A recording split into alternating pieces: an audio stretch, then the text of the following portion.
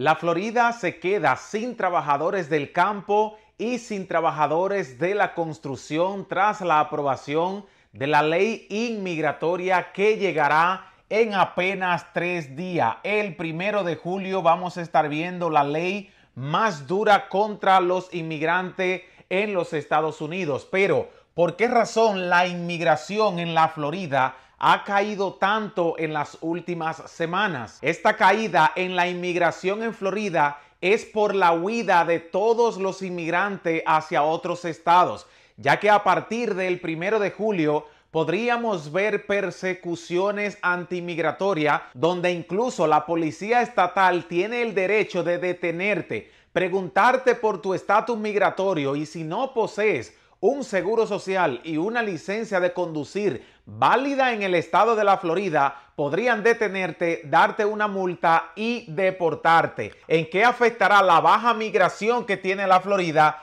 en su economía? Una economía sin inmigrante en los Estados Unidos no puede funcionar, ya que este país es muy diferente a la mayoría de países europeos.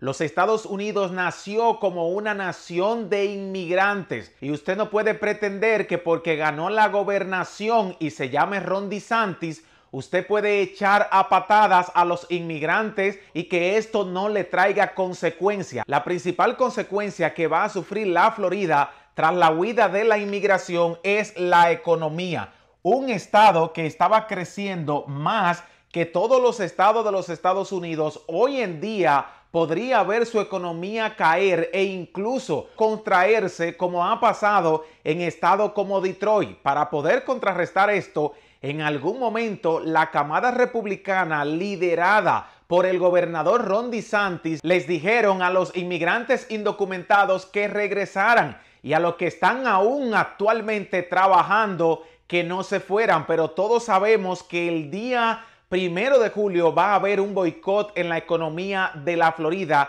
que puede afectar muchísimo el movimiento económico. ¿Y qué es lo que están pidiendo la mayoría de los inmigrantes indocumentados en este momento? Un estatus legal. La inmigración debería ser legal y se está pidiendo un estatus, licencia de conducir, permiso de trabajo y una pronta legalización donde podamos conseguir la residencia permanente y un camino a la ciudadanía. Los inmigrantes que ya se han ido y los que se van a sumar al boicot que viene para la economía de la Florida no van a regresar a sus trabajos hasta que toda la inmigración tenga su estatus legal, principalmente como se hizo con algunos ciudadanos de Centroamérica que se le dio y se le brindó la oportunidad de tener 18 meses extra con su TPS. Ahora toda la inmigración que venga a la Florida debería estar legal para poder trabajar en los campos agrícolas y para poder trabajar en la construcción, que es un buen punto de vista en el cual todos los activistas latinos estamos de acuerdo. La inmigración de la Florida tiene que ser legal, pero la que se encuentra en la Florida tiene que ser legalizada.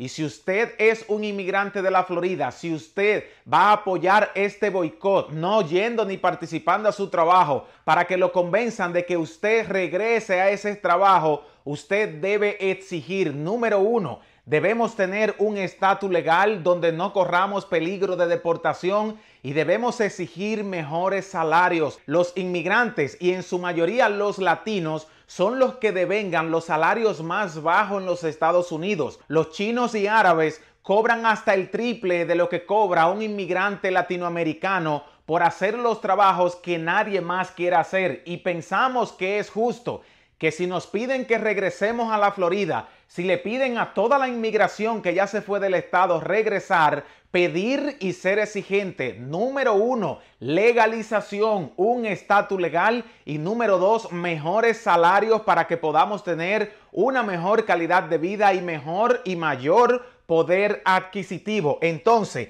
cuando la ley anti-inmigrante entre en vigencia en unos tres días, el primero de julio, cuando se haga este boicot y el mismo gobernador Ron DeSantis que se dice que está tratando de anular la ley para que no afecte la economía ni se vean lastimados en sus aspiraciones políticas, podría ser que la ley antiinmigratoria, aunque siga aprobada por el Senado podría no aplicarse de la forma tan dura como se pensó hasta el momento que la gente que tenga licencia de otros estados, si no tiene un seguro social, no puede manejar ni ingresar por las fronteras hasta la Florida, porque usted será considerado como una inmigración irregular y te podrían detener y deportarte.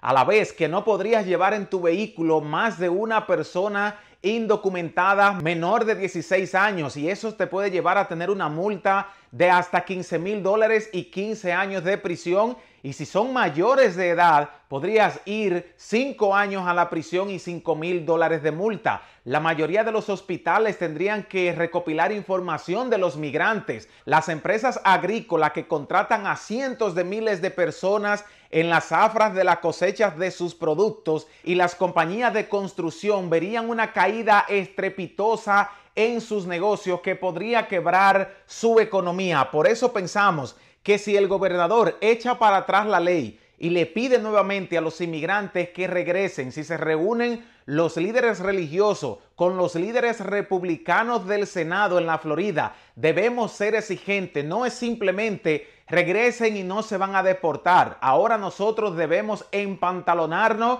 y como ahora tenemos apoyo de los medios y canales ya medianamente grandes como este, que ya somos 100 mil personas, felicidades a todos ustedes porque este canal es de ustedes y este medio tiene muchísimo poder y hemos llegado a los oídos de Univisión y de CNN quienes nos han invitado a participar en algunos eventos patrocinados por ello. Pero aún eso está en discusión ya que el canal Autos Barato no está muy contento con esta gente porque nos han dejado solo cubriendo la noticia de lo que está pasando en la Florida y más parece que están de parte del gobernador Ron DeSantis o también podría ser que están esperando una gran noticia de deportaciones de inmigrantes para ellos aprovecharse de la ola y del ruido. Nosotros aquí no estamos buscando eso. Lo que estamos buscando es que ni un solo miembro de la comunidad latinoamericana sea afectado por la ley antimigratoria SB 1718 aprobada en Florida por el gobernador Ron DeSantis y la camada republicana. Porque las familias latinoamericanas para nosotros todas cuentan igual. Por eso te decimos que te suscriba al canal, que active la campanita para que jamás te pierda una notificación cuando subamos videos actualizados de lo que está pasando en Florida con esa ley antiinmigrante, de lo que pasa en Arizona, en California, Texas y otros estados. Ojo, que se pueden estar sumando a las leyes antimigratorias de Florida si esta tiene éxito para así asustar a la comunidad y que estos se vayan por su propia cuenta. Y también podría venir para Texas, que es un estado fronterizo en la frontera sur con México, para así obligar a todos los migrantes que llegan a pedir asilo tener que regresarse hacia sus países y que así no le cueste al gobierno federal. Vimos una familia salvadoreña de más de seis miembros tener que abandonar el estado de la Florida donde habían vivido por más de 15 años. Allí habían nacido sus niños y no pueden regresarse al Salvador en este momento porque no están preparados para irse. Lo que sí tuvieron que hacer fue irse hacia otro estado, mientras que el gobernador Ron DeSantis en su último discurso en el estado de Texas dijo que se van a llevar más oficiales a la frontera con México y repitió lo que dijo el expresidente Donald Trump, que los niños que nazcan en los Estados Unidos, si él llega a ser presidente, no heredarán la ciudadanía estadounidense, sino más bien la de sus padres inmigrantes indocumentados, algo que no es para nada justo. Así que la inmigración en la Florida ha caído muchísimo, arrastrando consigo la economía, porque la economía sin inmigrantes no funciona, por lo menos en los Estados Unidos ni en ningún país de Norteamérica. Exijamos estatus legal, además que si la ley antiinmigrante entra y empiezan a deportar a las personas, nosotros seremos un refugio para todos ustedes. Por esa razón, suscríbete, dale like, activa la campanita y lo mejor de todo, comparte este video en las redes sociales como Facebook y WhatsApp para que la mayoría de gente se entere de lo que está pasando en la Florida y de lo que vamos a hacer nosotros el día primero de julio con un boicot que paralizará toda la economía de la Florida. Para todos un gran abrazo. No se olviden que los queremos. Latinos Unidos jamás serán vencidos. Y felicidades a todos ustedes que ya son más de 100 mil. Para todos, un gran abrazo.